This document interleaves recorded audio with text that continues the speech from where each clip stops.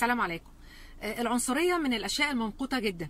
وإحنا المفروض كعرب ومس- ومسلمين المفروض ما يبقاش آه، في بيننا وبين بعض آه، عنصرية أو أو نظرة مش كويسة كشعوب مع بعضها.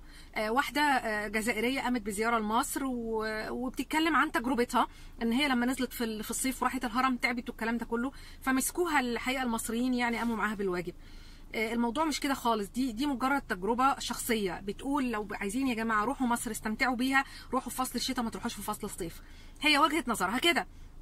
ليه أنا أمسكها وأقول لها انت بتدسي السم في العسل وانت بتعملي وانت بتسوي وانت كذا وانت كذا وانت كذا.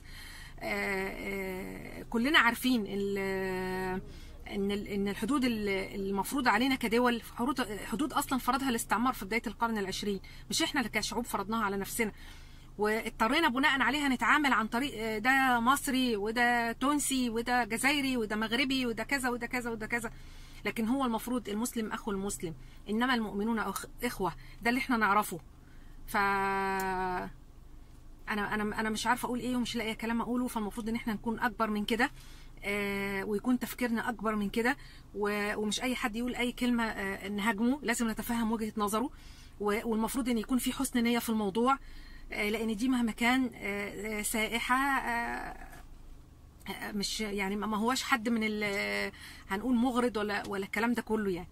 آه، بس فأتمنى إن إحنا نتقبل ال- ال- الرأي والرأي الآخر مش اللي هو يا أنا يا لأ آه، آه، هي مصر كده. لأ هو الموضوع مش كده خالص يعني. عادي أنا لو رحت أي مكان وفي وفي ملاحظات وفي ما فيش أي مشكلة خالص بس المهم الطريقة وهي كان أسلوبها الحقيقة مهذب جدا. وبتحكي عن تجربة شخصية. فأرجو إن إحنا ن...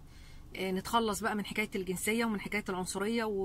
ونبص للموضوع على إن إحنا كلنا إخوات وإيدينا في إيد واحدة